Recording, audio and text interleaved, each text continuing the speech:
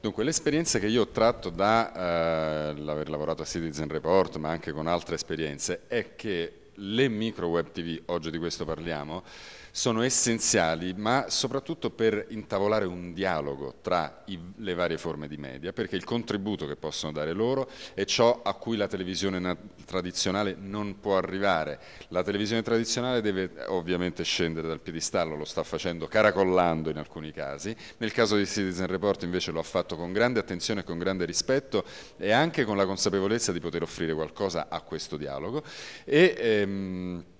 e questo secondo me è la condizione essenziale perché si sviluppi una nuova forma di conoscenza, si formino delle coscienze e dei telespettatori o dei, degli internet, dei navigatori internet che sono affamati di informazione più coscienti, cioè che conoscano i limiti del mezzo informazione tramite internet e che sappiano mobilitarsi per verificare che ciò che accade su internet in realtà corrisponde alla realtà.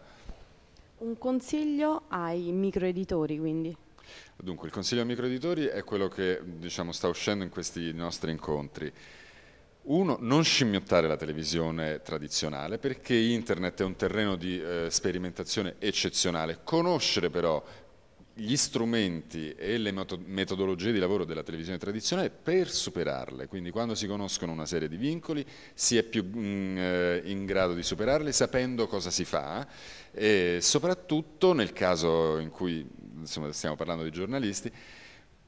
a dotare ciascuna informazione che si porta su internet di quel corredo eh, che può servire a tutti per verificare la sua correttezza, che le fonti siano state verificate, da dove è tratto. Se devo filmare per esempio l'esterno di un istituto dove eh, si sta misurando la radioattività dei proiettili al, all'uranio impoverito, beh insomma io devo dare, dare la possibilità a un a uno che segue quel servizio di capire che effettivamente quel servizio viene svolto in quel luogo, perché se vedo un esperto che parla con un pseudo contatore Geiger, è ovvio che io a quel punto non so se quello è un attore, se il, il, proiettile è davvero un proiettile e così via. Quindi dotare di strumentazione per verificare la realtà di ciò che si dice. L'esperienza di Udem come è stata accolta dal popolo, dalla popolazione di internet soprattutto e anche da quella nazionale? Dunque è un'esperienza complessa perché ovviamente lì siamo in un terreno in cui un partito politico ha chiesto al territorio, diciamo così per sintetizzare, eh, di portare a conoscenza del partito una serie di tematiche attraverso uno strumento complesso come quello del video, perché è vero che noi su internet sappiamo che ci sono tanti video eccetera, ma nel momento in cui noi dobbiamo rappresentare un, un, un tema complesso attraverso un video, beh insomma comunque il lavoro da fare è tanto. Per cui è chiaro che è un esperimento eh, molto ambizioso, perché diciamo, un utente qualunque per portare a conoscenza di un partito, di un interlocutore politico una certa tematica ha due strade, Udem o YouTube. YouTube è il dialogo universale, Udem è un dialogo molto circoscritto, ovviamente con una caratteristica eh, di identità politica molto precisa e così via. Quindi è eh, come l'ha presa il popolo, l'ha presa diciamo bene, nel senso che lì c'è un forum su cui si può discutere, eh, è ancora diciamo così, da sviluppare però un vero e proprio dialogo tra